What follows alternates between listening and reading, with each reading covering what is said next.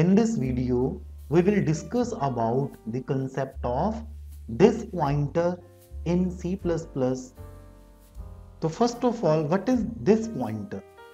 This pointer is a hidden pointer which can access the object in C++ program with its address and it is done by using this keyword as it is an implicit argument that can be passed to all the member function for referring to the invoking object except the friend function as their non-member function of a class. We can define this in C++ as a pointer that is passed as an argument to non-static member function where to access the object having a single copy of the member function.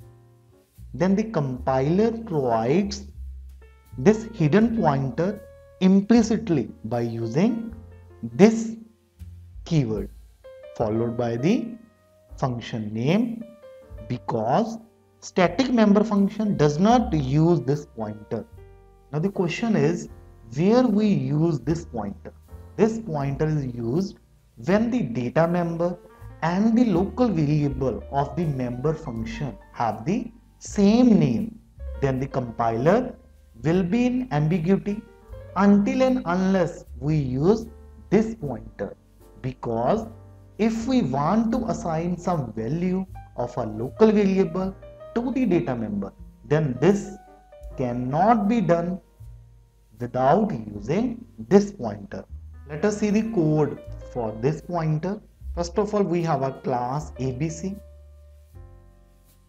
an ABC class having two data members. Int a and char ch and the data member are private by default. And class having one public member function void get and public member function having two local variable having the same name as data member name like int a and char ch. Now where we use this pointer when the data member and the local variable of the member function having the same name then use this pointer. Now how to use this pointer? This keyword. Then arrow operator.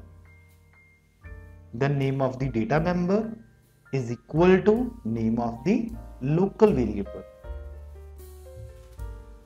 Then semicolon. This pointer arrow operator name of the data member is equal to name of the local variable. Class having a put function that display the value of put function display the value of a and ch class body and with the closing curly braces and semicolon. Now inside the main function create the object of class name of the class abc is the name of the class and a1 is the name of the object now a1 dot get with the help of object which is followed by dot operator, we can assess the member function of a class. A1 dot member function name, get function having two parameter. The first parameter is of integer type and second parameter is of character type. Then after that we have to call the put function to display the value a1 dot put Now run this code. Now after the execution of this code, the output is value of A is 10 and value of CH is A. If we remove this keyword, then there is no output. Garbage value is to be printed onto the screen. if we want to assign the local variable value to the data member, then you would not be able to do until unless we use this pointer because the compiler would not know that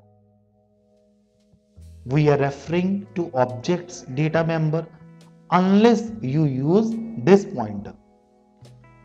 This is the first use of this pointer.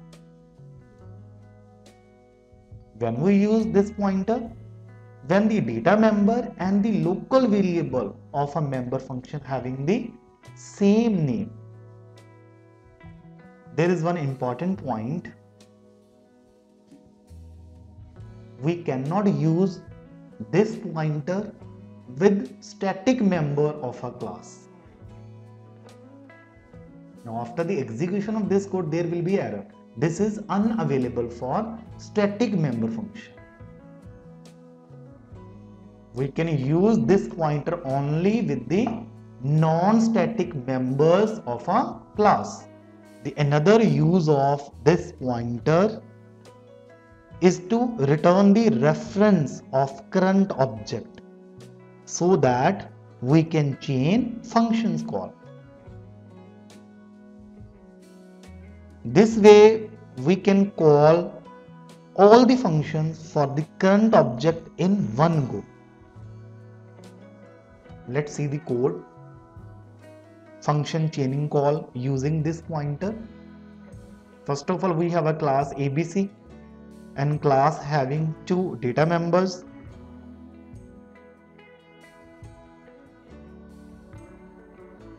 now we have to return the reference. Then the return type is class name. Ampersand name of the member function. Name of the member function is get a. Now in this case, function return reference.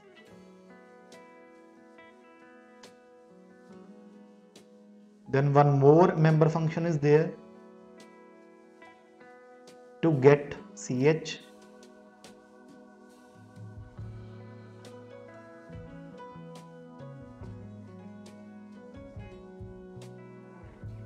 this arrow operator name of the data member and name of the local variable then return. Reference. Then we have a put function that display the value of a and ch now inside the main function name of the object dot operator then name of the first member function get a then pass the value dot second member function get ch pass the value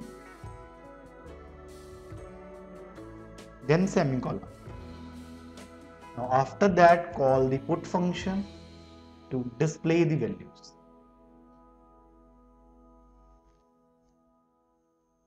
now run this code after the execution of this code the value of a is 11 and value of ch is b now in this case this pointer is to return the reference of current object, right? So that we can chain function call. This way we can call all the function for current object in one go. There is one important note in this program.